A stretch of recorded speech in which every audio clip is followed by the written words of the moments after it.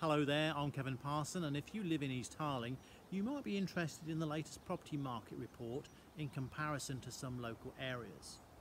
In the last 12 months 51 properties have sold for an average of £244,500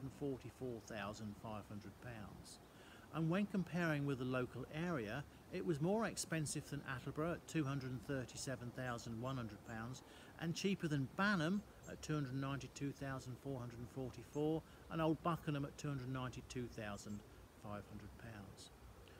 When we look to see what's been selling there were 25 detached properties with at an average of £332,000 10 semi-detached at 223,500 and 15 terrace at 176,250.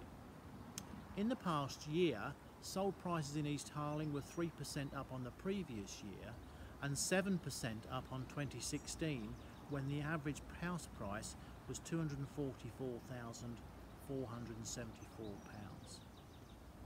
Here's an example of a property sold last year in Garlands which had a lounge, conservatory, kitchen, two bedrooms together with rear gardens and gas central heating and that sold in October for last year uh, at £160,000. So, excuse me, so I hope that you found this uh, of interest.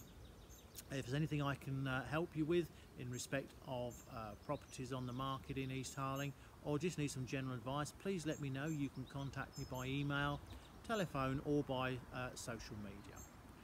Look forward to seeing you soon.